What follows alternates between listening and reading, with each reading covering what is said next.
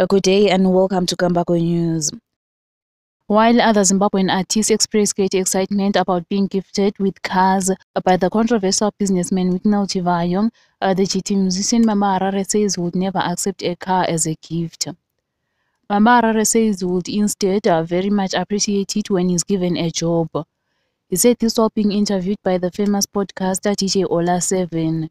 Baba Harare is totally against the idea of accepting a vehicle no matter how expensive it is. He says being given a job has more dignity than being given a car, asserting that if one gets a car, then what next? For these and other stories, please do like and subscribe to our channel at Gambakwe Media.